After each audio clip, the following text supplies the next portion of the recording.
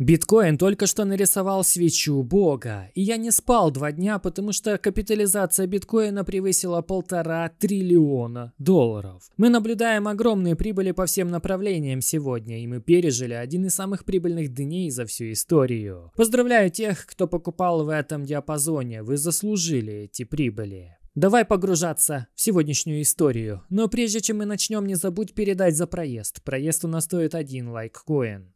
Передал? Большое спасибо за поддержку. И естественно, все, о чем мы сегодня будем говорить, это не финансовый совет. Я всего лишь парень из интернета, который собирает публичную информацию в одно компактное видео. Итак, биткоин достигал 76 тысяч долларов впервые в своей истории. И вот что нас может ожидать дальше.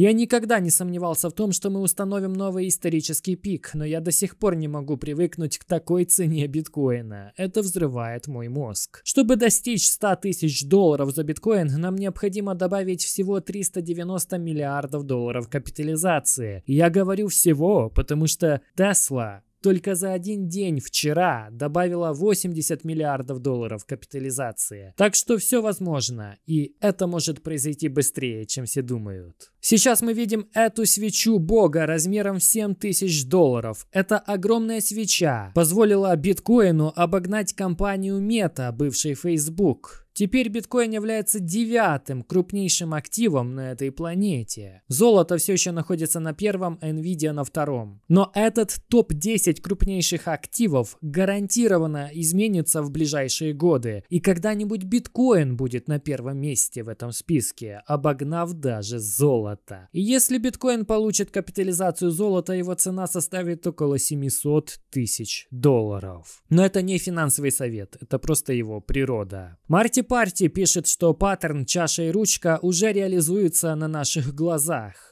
По его словам, целью этого движения является отметка в 124,5 тысячи долларов. Мы обсудим еще несколько целей сегодня, потому что свеча бога размером в 7 тысяч долларов вызывает у всех восторг и заставляет говорить о целях. Именно поэтому я сейчас немного осторожен. Мне не нравится эта эйфория вокруг, когда все бросились покупать и даже эфириум, который еще вчера ненавидели. Тем не менее, впервые в истории США у американцев появился биткоин-президент. Мы немного поговорим о влиянии политики на криптовалюты, потому что, к сожалению, эти две вещи теперь неразрывно связаны. Еще 6 лет назад политикам было плевать на биткоин, но не сегодня. Я не люблю политику, но я люблю биткоин, и поэтому мне придется мириться с тем, что на него влияет. Наиб Букеле – человек-легенда, парень, у которого хватило смелости перейти дорогу МВФ, БМР и другим финансовым институтам и перевести страну на биткоин-стандарт. Он первым поздравил Трампа. Это не смогли бы придумать даже самые талантливые сценаристы. У нас есть Майкл Сейлор, генеральный директор микростратегии,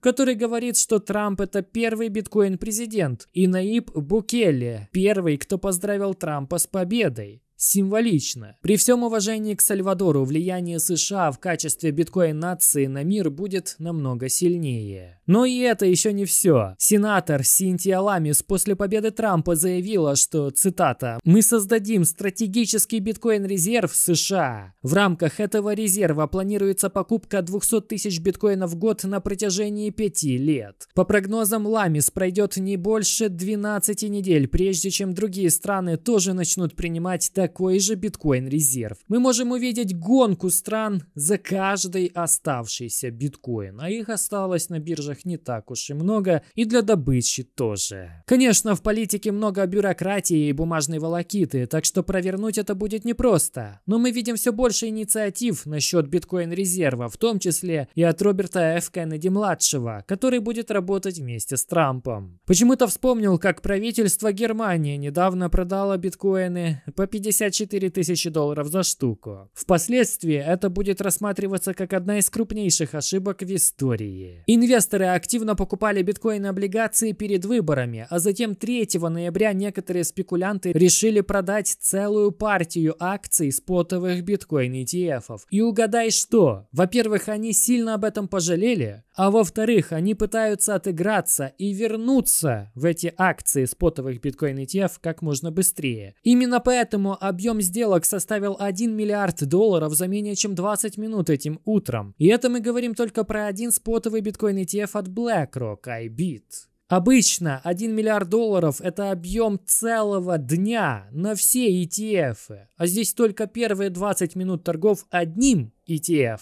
Другие биткоин ETF показывают сумасшедшие объемы, готовые побить рекорды. И учитывая рост цены биткоина, это больше похоже на ажиотажный объем покупок. А значит, эта неделя будет отличной для притока инвестиций. Вспомни все те казначейства и пенсионные фонды, которые уже успели купить биткоин. До 40, 50, 60 и даже 70 тысяч долларов. Но есть множество других, кто еще этого не сделал, не купил. Компания Microsoft также проводит голосование, добавить ли биткоин в стратегический резерв компании. Есть такое понятие, как сожаление после покупки. Но есть чувство еще сильнее. Это сожаление после непокупки. И мы уже видим, как многие уже начинают испытывать похожее чувство. Сожаление, а не покупки. Стоит ли мне покупать биткоин сейчас? Подходящее ли время для того, чтобы начать покупать криптовалюту? Поздно ли инвестировать в биткоин? Или стоит рискнуть? Каждый цикл мы видим одно и то же. Знаешь, к чему приводит сожаление, а не покупки? К тому, что люди массово покупают новые пики цикла, вызывая blow-off топ вершину, чтобы затем либо зафиксировать убытки, либо сидеть в просадке очередные 4 года. Впрочем, инвестировать в биткоин никогда не поздно, как показывает история. Даже если ты купил на пике 2017 года за 20 тысяч долларов, то сейчас, спустя 7 лет, ты в плюсе, ты сделал 3 икса. Даже если ты купил на пике в 2021 за 69 тысяч долларов, сегодня ты все равно в плюсе.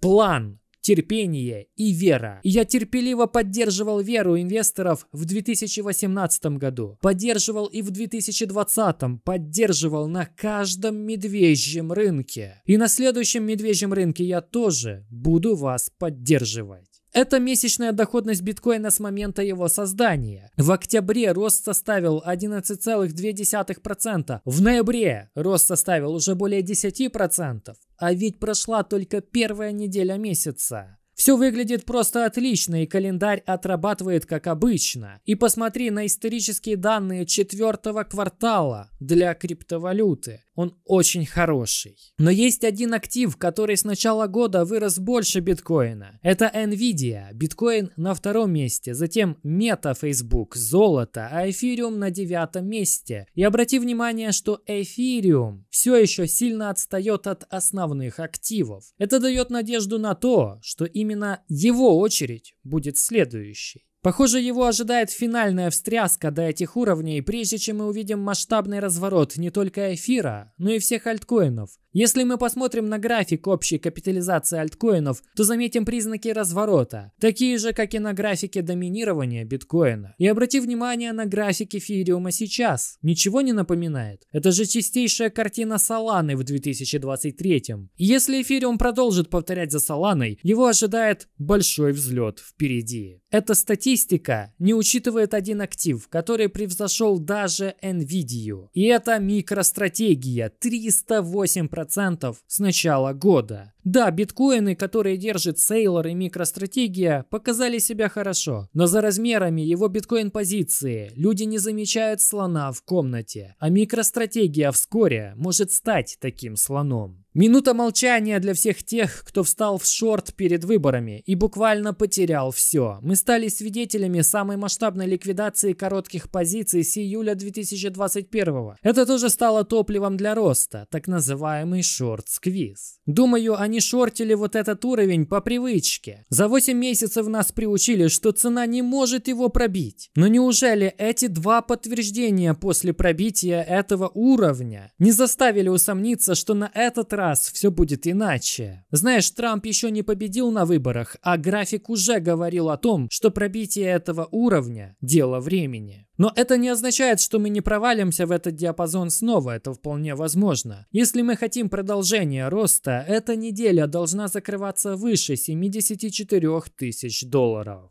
Теперь по поводу новых целевых цен. Во-первых, прогнозируют, что биткоин достигнет 100 тысяч долларов до инаугурации Трампа, как сообщает CNBC Watcher Guru. Эта инаугурация должна состояться примерно 20 января, примерно через два с половиной месяца. То есть у нас впереди еще ноябрь, декабрь и чуть менее 20 дней января. Это почти три месяца, и многие люди верят, что к моменту инаугурации Трампа биткоин будет стоить 100 тысяч долларов. Скажу честно, мне не нравится, когда основные СМИ вроде CNBC становятся настолько оптимистичными. Однако я тоже верю, что рано или поздно биткоин будет стоить 100 тысяч долларов. Точных дат от себя называть не буду. Есть еще ряд других прогнозов. Древний инвестор в биткоин, который активно пропагандирует его еще с 2016 года, прогнозирует 1 миллион долларов за биткоин уже в следующем году. Опять же, это только его надежды, но вот более реалистичные прогнозы от других известных людей. Марк Юска прогнозирует 150 тысяч долларов к 2025-му, Питер Брандт 135 тысяч, Тим Дрейпер 250 тысяч долларов. Кстати говоря, этот прогноз у него уже много-много лет. Роберт Киосаки 500 тысяч долларов к 2025-му, Артур Хейс 750 тысяч долларов к 2026-му, План Б 400 тысяч долларов к 2026-му, Нова Градс полмиллиона долларов к 2028-му, Кэти Вуд 1 миллион к 2030-му, Тайлер Уинклвос 500 тысяч долларов к 2030-му и, наконец, Майкл Сейлор 13 миллионов долларов к 2045-му. Теперь про золото. Последние несколько месяцев золото превосходило биткоин, пока тот находился в состоянии консолидации в этом боковом тренде. И мы много раз говорили о том, что биткоин должен последовать за золотом. И это наконец-таки происходит.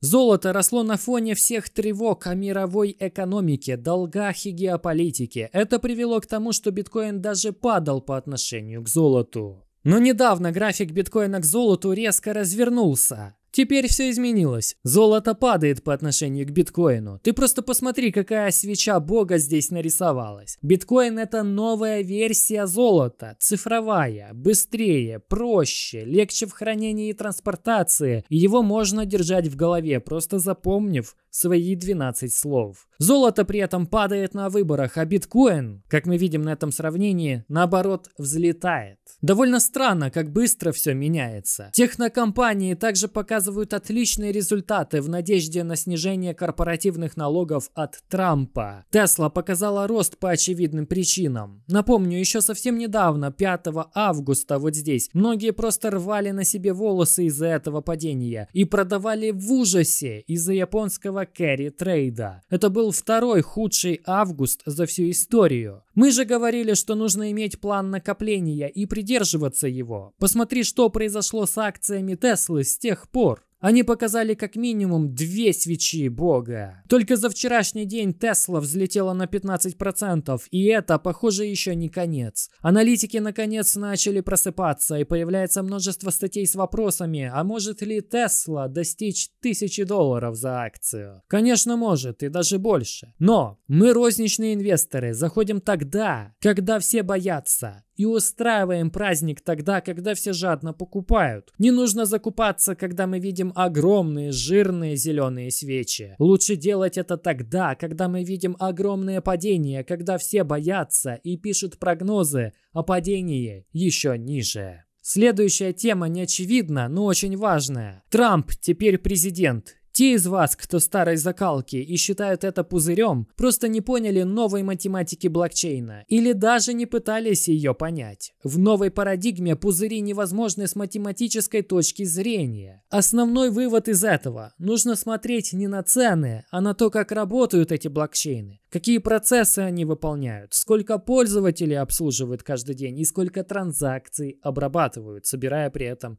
некое количество комиссий. Например, Solana поддерживает 6,5 миллионов активных пользователей ежедневно с очень низкими затратами. То есть за ее рыночной ценой реально что-то стоит. Естественно, нельзя исключать вероятность мгновенного краха, как это было с Terra. Риски всегда присутствуют. И, кстати, сейчас развязалась нешуточная борьба между Solana, Sui и Base. Все три цепочки показывают взрывающиеся объемы, транзакции, комиссии и пользователей. Тем не менее, Solana обогнала Binance, став третьей по величине криптовалютой, если не учитывать тезер, так как тезер это стейблкоин. Капитализация биткоина 1,5 триллиона долларов, эфира 340 миллиардов долларов, Соланы почти 89 миллиардов долларов и BNB почти 86 миллиардов долларов. Так что мы видим не только то, как биткоин вырывается вперед по сравнению с золотом, но и то, как Solana становится третьей крупнейшей криптовалютой, если не учитывать тезер. Все очень быстро меняется, финансовый ландшафт полностью меняется. Если Solana обгонит эфириум, вторую криптовалюту, то ее цена составит 1211 долларов. Кроме того, скоро будет запущен спотовый Solana ETF, ведь в январе, скорее всего, Гэри Генслер будет уволен, когда Трамп вступит в свои старые, новые полномочия. Мы скажем Гэри Генслеру, человеку, который подавлял криптоиндустрию, пока. Это сообщение от Canary Capital. Они — это крайняя компания, подавшая заявку на спотовый Solana ETF. Но почему-то они не подавали заявку на запуск спотового Ethereum ETF. Почему? Потому что их основная идея заключается в анализе фундаментальных показателей. Они видят, что доля активных адресов Solana значительно выросла за последний год. На графике это розовая зона, и она поднялась из неизвестности в начале 2021 года до доминирующего положения сегодня. Более половины всего, что происходит внутри 30 тысяч сетей, сосредоточено в одной сети – в Солане. Это просто математический факт. Поэтому, смотря на эти данные и их динамику, они подали заявку на спотовый Solana ETF, а не Ethereum ETF. И у многих компаний уже есть регистрационные заявления на запуск Solana ETF. Так что это только вопрос времени, когда они получат одобрение. Например, Ванек подавал заявку в июне или в июле 2024 и множество других компаний тоже. Так что Solana ETF на подходе. Что самое интересное, у Solana не будет такого фактора, который был у биткоина или эфириума. Огромные Grayscale биткоин и эфириум трасты, которые им приходилось продавать. Помнишь, как в начале Grayscale тормозил спотовый биткоин ETF своими продажами? У Solana такого не будет. Также спотовый Solana ETF может быть запущен не только в США, но и в других странах, таких как, например, Бразилия. Итак, мы уже обсудили два флиппинга, которые произошли. Это когда какой-то финансовый актив обгоняет другой. Биткоин обошел золото, Solana обошла Binance Coin, но у нас только что произошел и третий. Весь финансовый ландшафт полностью меняется. Solana только что обогнала Ferrari по рыночной капитализации. У Solana 89 миллиардов долларов, у Ferrari почти 83,5. И Solana, как и биткоин, тоже показала свою свечу бога. И возвращаясь к взаимосвязи между политикой, криптоиндустрией и блокчейном. Это все действительно связано. Самой большой ошибкой демократов было враждебное отношение ко всему криптосообществу. Я говорю сейчас про тебя, про себя. Да, мы являемся частью криптосообщества. И это нас они пытались задушить, лишить нас доступа к криптоактивам, криптовалютам, запретить наши активы. Они хотели лишить нас возможности, которая может дать нам финансовую свободу и независимость. Яковенко отметил, что самая большая опасность для демократов это то, что где-то взрослые люди обмениваются последовательностями единиц и нулей, получая удовольствие от отсутствия государственного контроля. В этом и заключалась угроза для демократов – децентрализация. Это отсутствие контроля. Биткоин – это угроза социальной стабильности, говорили они. Зато они не видели никакой угрозы для этой социальной стабильности, когда брали эти серые конверты с деньгами и крали миллионы и миллиарды долларов. Или использовали их на нехорошие вещи. Элизабет Уоррен строила антикриптовалютную армию, чтобы переизбраться в Сенат от Массачусетса. К сожалению, жители Массачусетса не выбрали Джона Диттона, а решили остаться с антикриптовалютной королевой. Они снова проголосовали за нее. По умолчанию это означает, что большинство жителей Массачусетса до сих пор не владеют криптовалютами. И это печально. Массачусетс – это прежде всего красивый город Бостон. Это MIT, прославленный технологический университет. И я очень надеюсь, что они обратят свое внимание на криптовалюты. Вчера я уже упоминал это, но сегодня мы получили обновленные данные по этому красному цунами. Американский народ высказался. Мы только что избрали президента, поддерживающего криптовалюту, и 250 кандидатов в Конгресс, поддерживающих криптовалюту. Да, теперь у нас есть 253 представителя в Палате представителей и 16 криптовалютных сенаторов в Конгрессе. Фактически мы имеем ситуацию, когда у нас на двух прокриптовалютных сенаторов или представителей приходится один антикриптовалютный. Мы в большинстве. Если ты против криптовалюты, то ты отрезаешь огромную часть своего электората. И с каждым годом этот электорат будет обновляться на более молодое поколение. И из-за этого будет становиться все более криптовалютным. И это нужно понять сейчас многим политикам. Те, кто это не поймут, рискуют закончить свои политические карьеры. Ты наверняка помнишь операцию Checkpoint 2.0. Эта операция направлена демократами против криптовалюты. И некоторые люди говорили, что ее не существует. На самом деле это действительно есть. И теперь после победы Трампа на этот счет будет проведено большое расследование. Главный исполнитель операции Checkpoint 2.0, председатель банковского комитета Сената Шеред Браун из Агая, не переизбрался. Он потерял свое место в Сенате. Но это еще не все. Теперь у комитета будет новый руководитель. Тим Скотт станет главой банковского комитета Сената. Это возможность для расследования и раскрытия правды об антикриптовалютной операции Checkpoint 2.0. Республиканцы взяли пост президента, Сенат, Палату представителей и Конгресс. И теперь мы узнаем всю правду про антикриптовалютную политику предыдущей администрации Байдена и Харрис. И, видимо, немалую роль в этом сыграла социальная сеть Илона Маска, X, или же бывший Твиттер. Так уж получилось, что на этих выборах именно она превзошла все остальные, включая крупные телеканалы. Использование Твиттера достигло 6 миллиардов секунд в час. Это это звучит немного запутанно, но это означает, что пользователи только лишь в США в среднем проводят 6 миллиардов секунд в течение одного часа в Твиттере. 6 миллиардов секунд это примерно 70 тысяч дней. Такое количество показывает интенсивное использование платформы пользователями из США за очень короткий период времени. X становится крупнейшей новостной платформой на планете.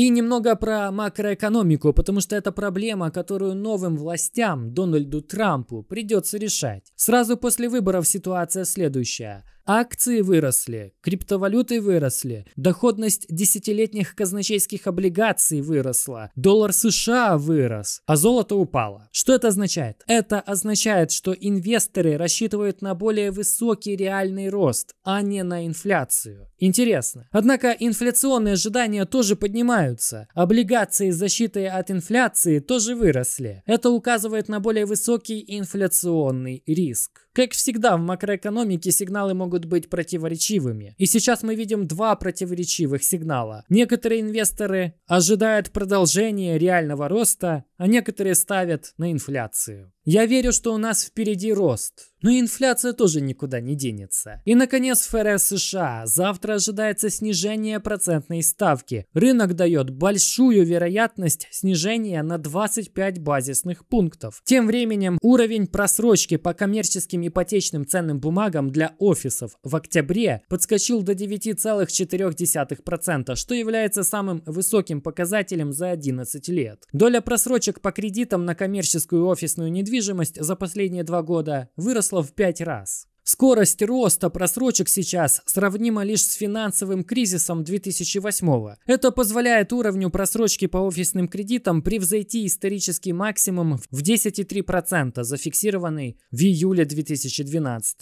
В целом ситуация в коммерческой недвижимости превращается в настоящий кризис, точно так же, как и в автомобильной промышленности и в секторе жилой недвижимости. Сейчас в рецессии находится и промышленное производство. Многое нужно исправлять это означает, что Дональд Трамп столкнется с серьезным кризисом в 2025. Меня зовут Богатейший Ди. Увидимся в новых видео. До скорого.